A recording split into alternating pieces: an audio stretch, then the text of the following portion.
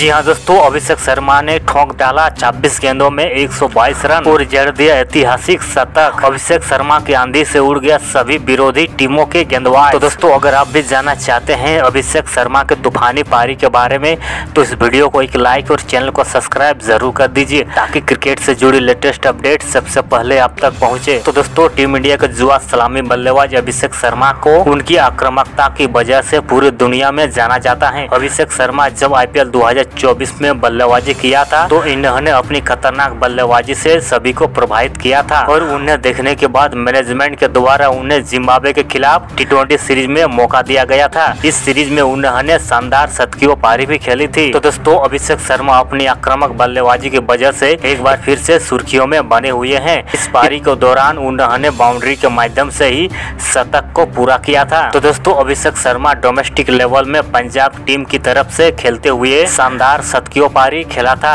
एक ऐसे ही पारी उन्होंने साल 2021 में विजय हजारे ट्रॉफी में खेलते हुए खेली थी। इस पारी में बल्लेबाजी करते हुए इन्होंने सर्विसेज़ की टीम के सभी गेंदबाजों की बढ़िया तरह से कुटाई की थी। इस पारी में उन्होंने एक गेंदों का सामना करते हुए सत्रह चौके और नौ छक्कों की मदद से एक सौ उनहत्तर रनों की पारी खेली थी। इस दौरान इन्होंने 26 बाउंड्री की मदद से 122 रन बनाए थे। तो दोस्तों टीम इंडिया के युवा बल्लेबाज अभिषेक शर्मा की क्रिकेट करियर की बात करें तो इनका करियर बहुत ही शानदार रहा है। इन्होंने अपने अभी तक के करियर में खेले गए तिरपन मैचों की बावन पारियों में इकतीस दशमलव पाँच सात की औसत और बिरानबे दशमलव पाँच दो को स्ट्राइक रेट से एक हज़ार पाँच सौ सैतालीस रन बनाए हैं। इस दौरान उन्होंने तीन शतकीय और पाँच अर्धशतकीय पारी खेली है। वही गेंदबाज के दौरान उन्होंने उनतीस विकेट अपने नाम किए हैं। तो दोस्तों, इस वीडियो को यहाँ तक देखने के लिए आप लोगों को बहुत बहुत धन्यवाद।